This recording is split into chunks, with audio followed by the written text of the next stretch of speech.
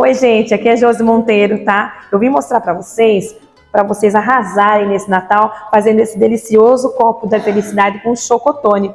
Serve para você dar de presente ou mesmo na sobremesa que você vai estar tá aí com sua família, com seus amigos aí no, nesse Natal, tá? Vem com a gente aqui, ó, participar dessa deliciosa receita super fácil, prática e acima de tudo, muito gostosa. Então bora lá para a receita, continue com a gente aqui que nós vamos estar tá arrasando junto com vocês aí. Bora lá para a receita.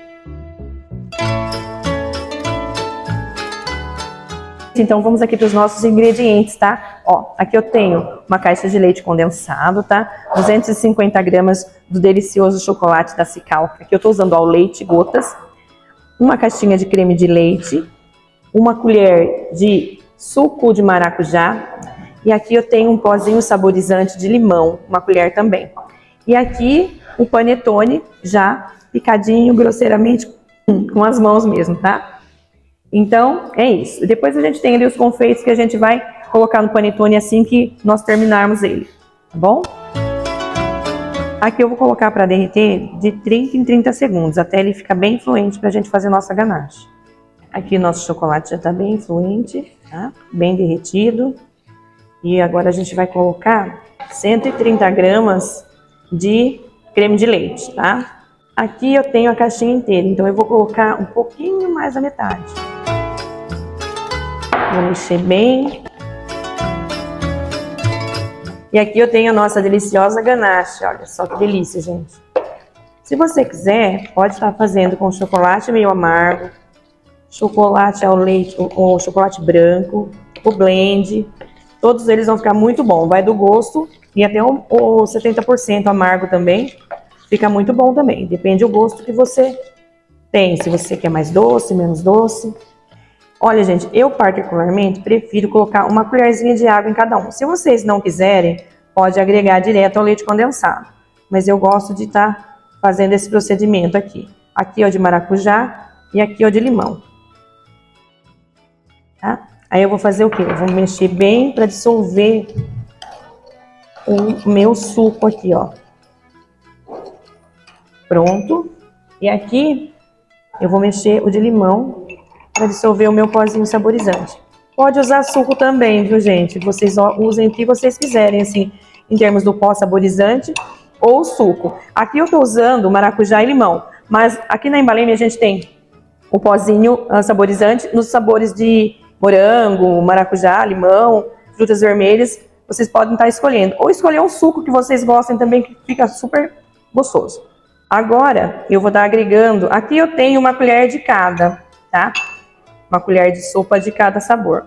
Eu vou estar tá colocando as 100 gramas que me sobrou, tipo 80 gramas, é que eu usei 130 lá, 70 gramas, metade desse, desse creme de leite nessa misturinha de maracujá e metade nessa misturinha de limão. Agora a gente mexe, mistura bem e depois eu vou agregar o leite condensado também a essa mistura aqui. Pode ver que já vai dar essa consistência aqui, ó, tá vendo? Na hora ele já engrossa. Qualquer um dos sabores que vocês colocarem já vai dar essa consistência legal, olha só. Já dá, parece que vai engrumar, mas dá certo, viu? É só mexer que dá super certo. Aqui, como eu falei para vocês, já misturei o creme de leite aqui, já deu essa engrossadinha, olha só, que bonito já ficou. E aqui o de limão, tá? Tá meio empelotadinho, mas na hora que a gente colocar o leite condensado já mexe, já vai ficar super gostoso também. Então eu vou pegar essa misturinha, eu vou colocar em meia caixinha de leite condensado, tá? 200, 200, é, quase 200 gramas. A gente vai colocar aqui e vai mexer. Aqui nós temos um creme de maracujá, tipo mousse, tá? Feito com suco esse aqui, olha só que delícia. Tá vendo? Olha só a textura que dá. Tá?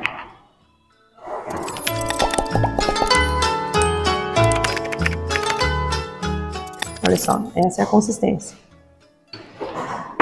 Se vocês quiserem mais cremoso, é só adicionar mais um pouco de creme de leite e deixar o gosto de vocês, tá? Eu gosto assim. Olha, gente, eu vou estar tá usando esse copo bolha aqui, tá? Olha só, vai ficar lindo, tá bom? Então, o que, que a gente vai fazer? Aqui, eu gosto de sempre colocar um recheio aqui embaixo. Não é uma regra, é a minha particularidade de estar tá fazendo um copo com o recheio em primeiro lugar, tá bom? Então eu vou colocar aqui para vocês verem um pouquinho do meu creme de chocolate, minha ganache, olha só. Um pouquinho para forrar o fundo, tá? Para aquele fundo não ficar seco a hora que a pessoa está terminando de comer. Aí eu venho aqui e coloco uns pedacinhos de panetone. Olha só que delícia. Coloquei aqui. Coloco mais um pouquinho. Aí eu vou fazer ele de recheio de maracujá. Eu venho aqui e coloco um pouquinho de mousse de maracujá. Aí eu faço isso aqui. Aí eu volto pra cá, coloco mais um pouquinho de panetone. Vendo, olha. Delícia que fica isso, gente. Vocês não têm noção. Aí eu coloco aqui um pouquinho de ganache, chocolate que a gente fez. Vamos tampar aqui, ó. Olha só, bem generoso, gente? Bem gostosão para a pessoa comer, indicar você para outra pessoa e você vender isso aqui, dar de presente agora para o final do ano, no Natal. Estou fazendo na massa de chocotone, porque chocolate é muito difícil quem não gosta. E a gente dá uma batidinha aqui assim, ó, para dar uma descidinha, tá? E depois a gente vai fazer uma decoraçãozinha básica neles, tá bom? Aqui tá o de maracujá, olha a perfeição. Agora nós vamos para o de limão, mesmo procedimento, tá? Caso vocês queiram fazer, vamos fazer diferente agora então. Vamos fazer de limão primeiro aqui embaixo. Olha só. Minha colher aqui é um pouquinho grande, mas dá pra gente dar uma uma brindada aqui no fundo. Aí vamos colocar o panetone ou chocotone, né? Olha só. Vendo? Aí eu venho aqui, para não ficar igual, vamos colocar um pouquinho desse chocolate aqui, ó. E para dar um contraste melhor ainda, vamos pro limão, pra mousse de limão Gente, bem generoso aqui, ó, bem gostoso. Olha só. Voltamos aqui para o panetone. Isso vocês podem fazer com outros sabores, com brigadeiro, tá? Quem gosta de brigadeiro aí pode fazer com brigadeiro. Com o creme saborizante com sabor de frutas vermelhas ou de morango, faz a sensação que fica muito bom. E a gente fecha aqui com o nosso chocolate. Olha só que delícia. Aqui, a gente vai dar uma batidinha de novo.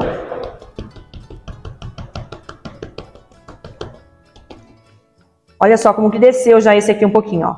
Depois a gente coloca mais um pouco. Olha para vocês verem, esse aqui já tá pronto, então ele desceu um pouco o chocolate. Esse aqui eu acabei de fazer agora. Mas olha só, que lindo que fica. Quem não gosta de ganhar um doce, gente, fala a verdade. Muito saboroso. Então, ah, eu não gosto de mousse de maracujá, não gosto de mousse de limão, eu sou chocolatra. Oficialmente chocolatra. Então vamos fazer um só de chocolate. Olha só. Isso aqui vocês podem brincar da forma que vocês quiserem com os sabores. Faz um brigadeiro de ninho, põe Nutella. Fica muito bom. Aqui, nosso panetone. Agora a gente vem com mais chocolate. Esse é o Famosão de chocolate, hein, ó. Se você sabe que a pessoa gosta de morango, dessas outras, desses outros sabores, você faz. Agora, se for para presente e você não sabe o gosto exato da pessoa, dá o de chocolate, gente. Dá o de chocolate, que chocolate ninguém é muito difícil que é aquela pessoa que não gosta.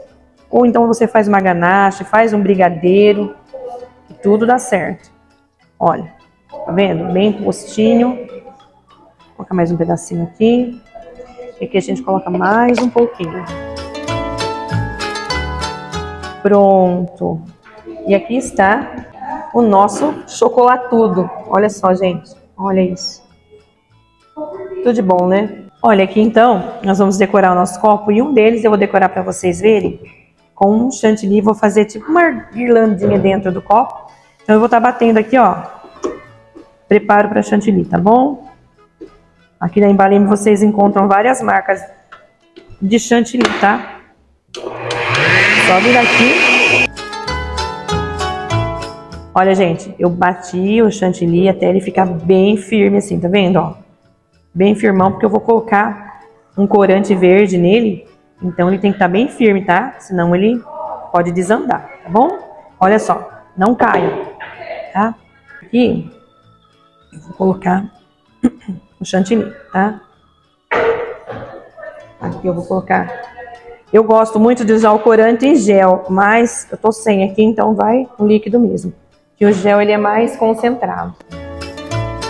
E mexe, mexe, mexe, mexe até ficar bem bonito.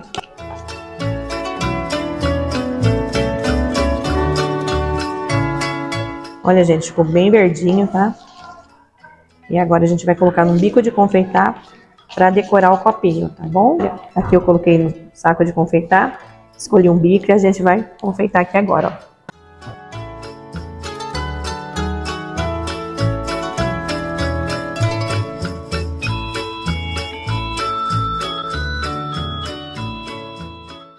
Um já tá pronto, olha só que lindo. Agora, vamos fazer de uma outra forma.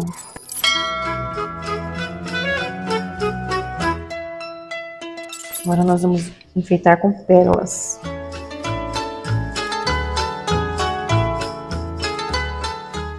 Aí a gente vem com essas daqui, ó.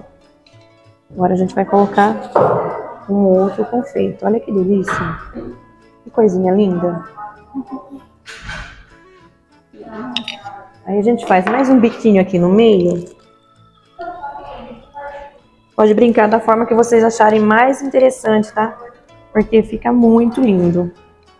Olha isso, gente. Que graça. E a gente vai alternar, tá? Um vermelho e um pérola.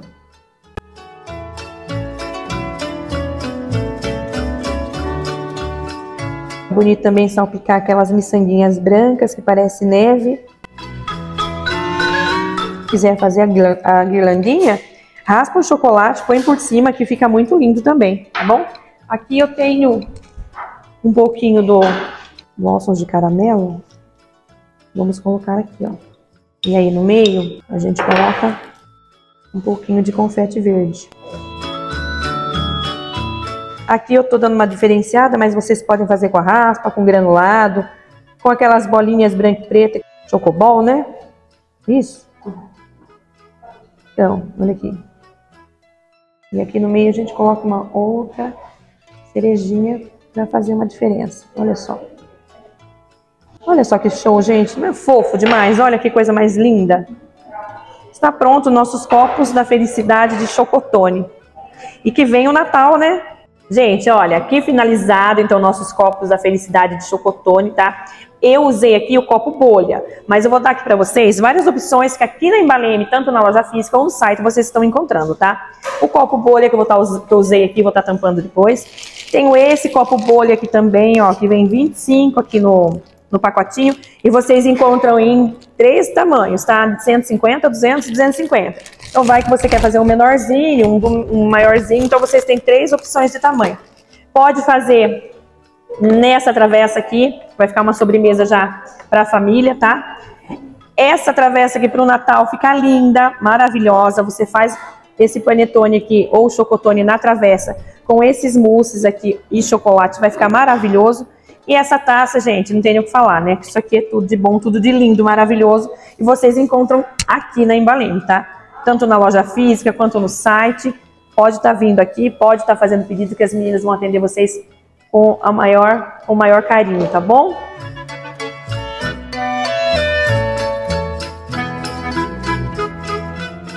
Então é isso, tá? Espero que vocês tenham gostado da nossa, da nossa receitinha de hoje. Serve para vocês estarem dando de presente, tá? É, pode estar tá tampando aqui, colocando um lacinho, tá? De presente aí para a família, para os amigos, tá bom? E eu espero que vocês tenham gostado de todas as opções que a gente ofereceu para vocês.